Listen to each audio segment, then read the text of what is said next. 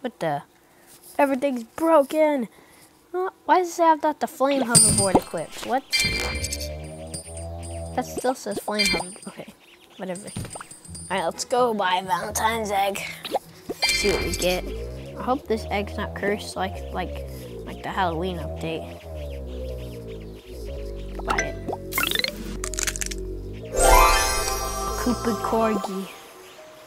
Alright, let's just turn on. Oh, I got tons. We'll be here for days.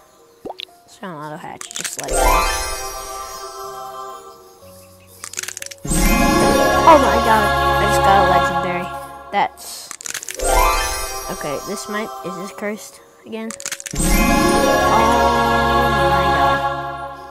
I think this cursed. Yep, yep, yeah. It's definitely cursed. Okay.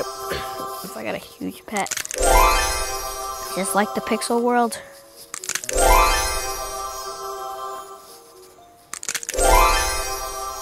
I'm gonna open a couple more.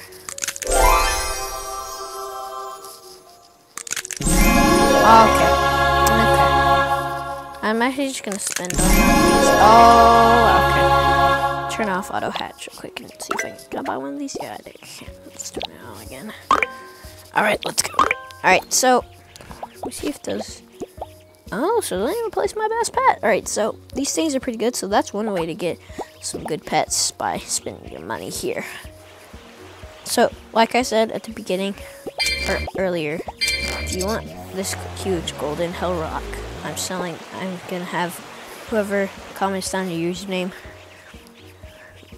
If someone comments down their username below the most times, I will give the hell rock to them. So.